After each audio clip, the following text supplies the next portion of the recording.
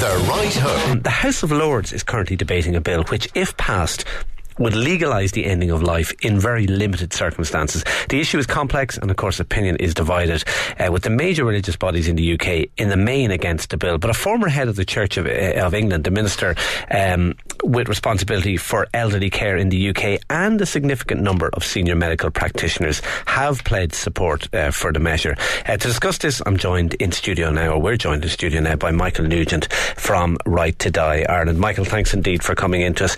Um, I'm assuming there isn't an awful lot of chance of this bill being passed. It, it is in the House of Lords at the moment. I think Lord Falconer, uh, the, the former Labour politician, has, has brought it through. But is there much chance of it actually becoming law? Well, it seems unlikely. I mean, as, as in Ireland, the courts repeatedly tell the Parliament that it's their job to deal with this issue, and the Parliament seem reluctant to deal with it. So, until such time as a Parliament somewhere gets the nerve to actually address the issue, it's not going to happen. This will have to be dealt with by the House of Commons after it gets through the House of Lords, and that's where, where the, the obstacle is. Okay, it is obviously something uh, in Right to Ireland that you passionately believe in. I do, yeah. I mean, my uh, late wife died of cancer a few years ago, and she had made preparations to take her own life if she had needed to, if the suffering became too much, and I had agreed to help her in that. And what I think most people don't realise about the campaign for the right to die is that it's not about the act of dying, that it's about the increased quality of life that you get while you're still alive by knowing that you have the option to minimise around the suffering if you need to. Anne's quality of life just soared after she had uh, made that decision and after we'd made preparations to be able to, to do it if necessary.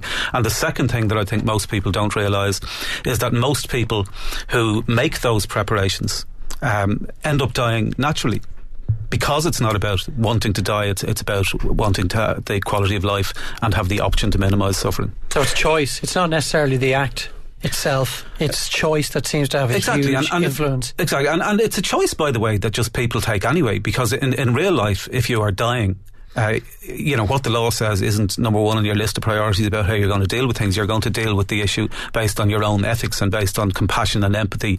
But the worry, and, you of course, suffering. being, and this was obviously something I'm sure would have crossed your mind and would have crossed the husband of Marie Fleming, that it's what happens after you're gone and the repercussions and the consequences for those you've left behind that will be a huge worry. So while your husband or your wife or your brother may agree to assist you in your death, there's always the fear that they're going to end up behind bars. It is, and, and I think it's a law that is going to have to catch up with uh, just the reality of, of how people live and how people die. U- ultimately, we're, we're moving towards a situation where people are, are having a more nuanced respect of individual conscience and individual human rights. And I think it's inevitable that it will happen. It's just a question of how many people have to undergo suffering and, and uh, not having the correct information. Isn't, isn't it it's more passed. complex than that, though? I mean, of course. Uh, I mean, you know, everyone agrees with the idea of individual choice and so on, but the danger is, and it, I suppose the main argument put against this, if it becomes law that this is allowed, that it, it changes the goalpost. It, it, it will increase pressure on people, uh, people who may feel uh, that they're a nuisance to their loved ones, a burden to their loved ones, and that it will increase pressure on those to take a decision that they may not wish to take. Well, the first state in America to pass the Dignity in Dying Bill, which was in 1997 in Oregon, uh, um, the statistics there last year were that less than a quarter of 1% of deaths in Oregon are assisted dying deaths. So you're not talking about a, a, floodgate of people suddenly wanting to die. And whatever safeguards, the safeguards that you put in place are to, to that, that people should be of sound mind that um, people should be terminally or very seriously ill and that they should get the information that is required and the assistance that is required to die peacefully and reliably. The danger is without this uh, this being legal that you certainly will get a large number of people not having that information uh, mm. attempting to Michael, commit it doesn't, it doesn't deal with that issue about people who feel they're a burden on their families. It, it, well, it doesn't, but I mean that's that's an issue anyway, and I don't want to sound harsh about that, but but I mean within society, say if if we take the right to drive a car which is just a convenience. You know, it's it's, it's not something as, as, fundamental as the right to assisted dying and peaceful dying. We allow people the right to drive a car, even though we know for a fact that, that many more people are going to die because of people driving cars than passing a bill like this. That, that's that's quite a, a separate point, Michael. In fairness, um, I um, share some of your views on things. For example, we're we're both atheists, and I know sometimes people think this is a, re- a religious argument against the right to die. I, I don't support uh, the notion of assisted dying, and I'll tell you why. Is because um, I believe that if you bring in and, and, and, I think we may be moving in that direction, to be honest. I, I think that the societal view that I, uh, may largely be moving in that direction and it may come in in time. But what I would say to you is this is my fear is exactly as Shane has just said, that the right to die can become the duty to die. And we have seen that. And, um, you know, because, because we do have assisted dying in, in other jurisdictions. And for example, in the Scandinavian countries, um, a study uh, that came out did show that in hospitals in Scandinavia, and, and I know Shane, you're always lauding Scandinavia as being wonderful, and we're always kind of joking about it, but, but in Scandinavians, where there was pressure on beds in hospitals, bed managers, so admin staff in the hospital went round and queried with older patients who were quite sick whether or not they'd like to um, enact their right to die. I find that wholly abhorrent. Um, and, and one of the things you said as an argument in favour of the right to die was that it would alleviate people's fears. And, and, you know, so you would do it so that somebody wouldn't feel. We should be able to alleviate people's fears about around death without them having to be uh, told, look, you know, we, we can, you know, help you die sooner. Uh, um, there are, you know, and you also use the term um, people have a right to, to, to a peaceful death. I'm completely with you on that. But that doesn't mean we have to hasten their exit. I, I do find a genuine concern that old patients or patients who are very, very unwell and have become incontinent and become a burden to their to their relatives and their loved ones may feel not that particularly they want to die because what a lot of people will say to you who work in hospices, I should tell you, maybe you don't know, I, I don't know if you know, I'm a GP myself, but a lot of people who work in hospices would say that a tiny, tiny proportion of dying patients actually want to die. It's tiny. Many of them are actually afraid of dying. Um, and that's what you need to work on. You need to work on those fears.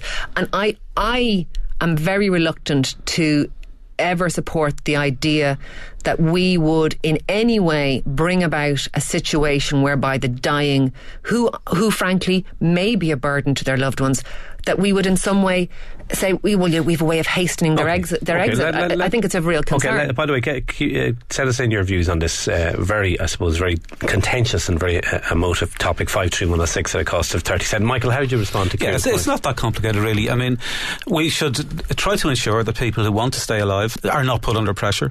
We should try to ensure that people who are dying and want to have the best possible hospice care get that hospice care which which is a resource issue that there should be a lot more resources put sure. into um, but simultaneously with that, those people who, of, of sound mind, do not wish to undergo that suffering should have the option to do so. Now, we've seen in, in recent times people who had significantly opposed it, ranging from the, the former Archbishop of Canterbury to, to the Care Minister in the UK, um, to uh, Desmond Tutu, who, after, after seeing Nelson Mandela dying, felt that that was an affront to Nelson Mandela's dignity, and he's now changed his position on it. We're seeing that people who are compassionate, um, who are empathetic, and who do clearly have the same concerns as, as you rightly have for people who feel differently, who want the choice. It's not compulsory. It's a choice, and I agree completely that that we need the strongest possible safeguards. Isn't it a choice that could be removed from some people, though, or clouded or greyed, the area greyed in some way by by relatives? Well, that could be the situation at the moment.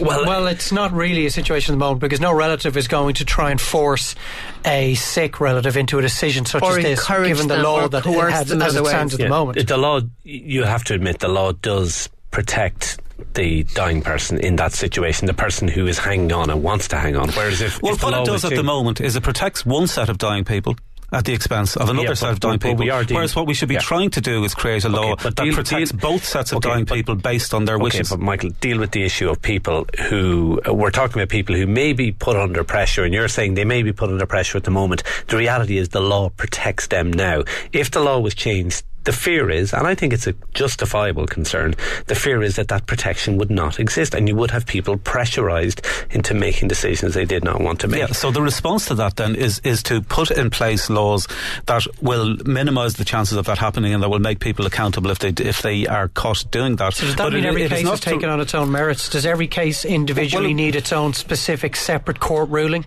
Well, not necessarily court ruling, but I mean that the, the norm in places where where uh, this legislation exists is is that people who do wish to avail of it um, are asked by medical people to to show that they're of sound mind, to show that they have thought the thing through, and to show that they're not under under pressure. So I mean, the, the, the in countries where, like, like as I say, in, in, in Oregon, which is the, the where it's been there since 1997, mm. and, and, which is what the, the UK bill that we're talking about is, is modelled on.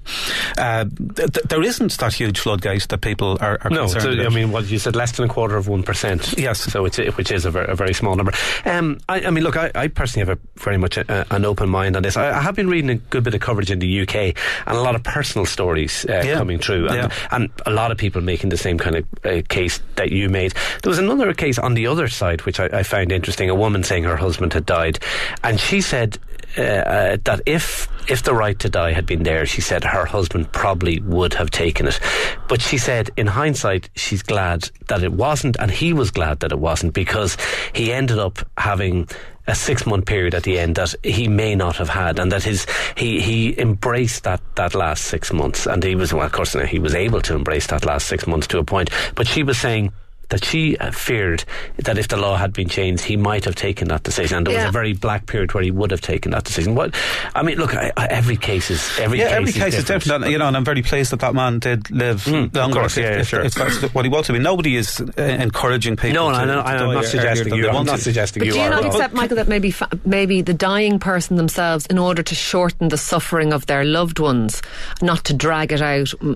I just feel that there will be an inherent pressure on somebody who is dying to to do a selfless act for their loved ones I, to I die sooner. And, and, I, and I worry. Can I say something? If, if you take the people who actually do take the decision these are these are people who are further along that they've actually consciously taken the decision sure. that they want to do this and they've made preparations to do it.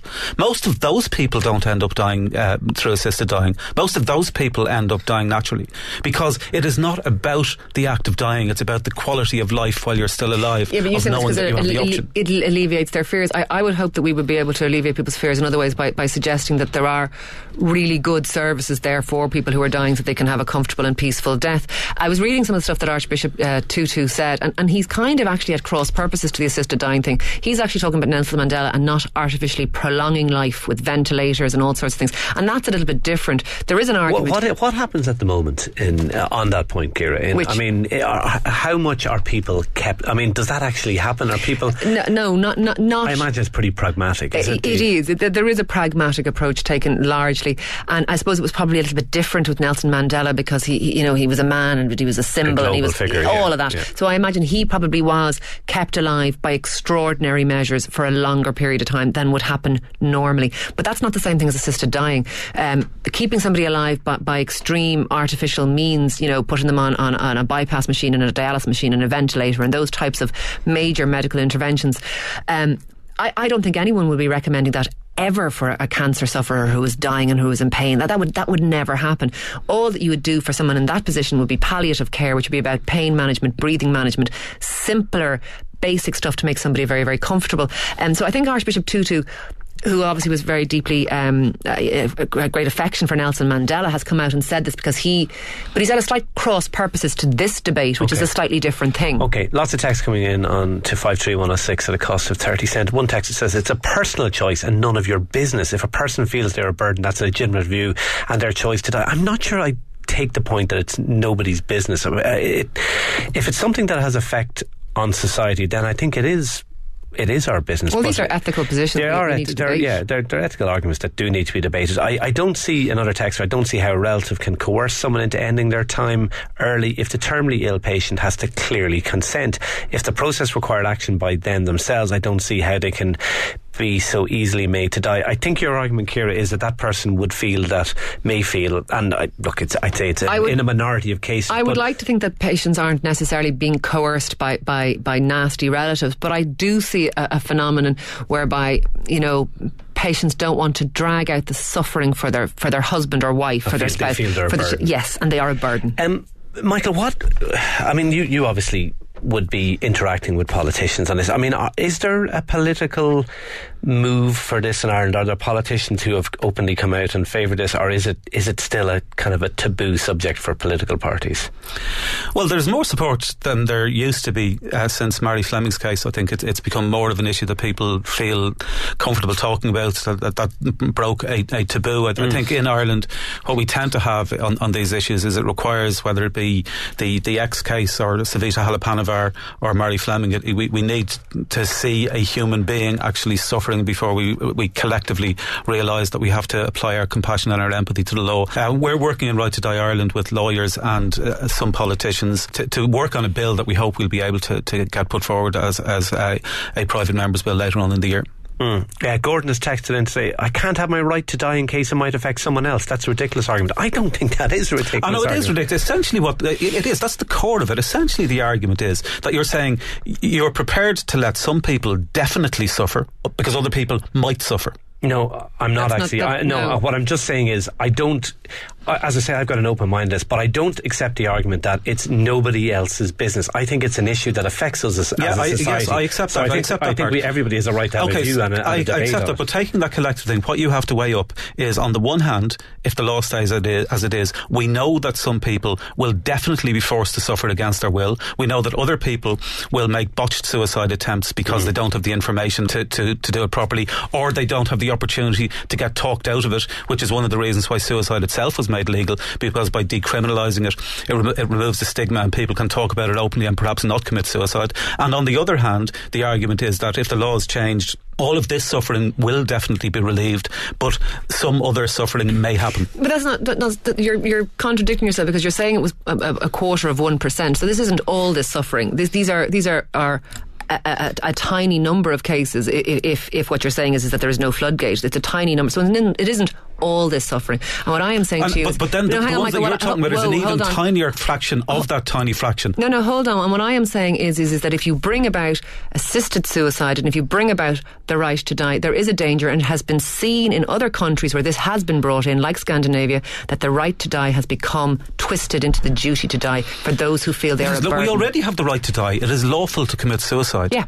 What we're talking about is is for people who, for whatever reason, due to disability, are not able to carry out the legal act that other you, able-bodied citizens no are able to. You have no fears whatsoever that these very vulnerable people may, in fact, feel that they should die in order to alleviate the burden on that they create on other people. You have no fear of that at all.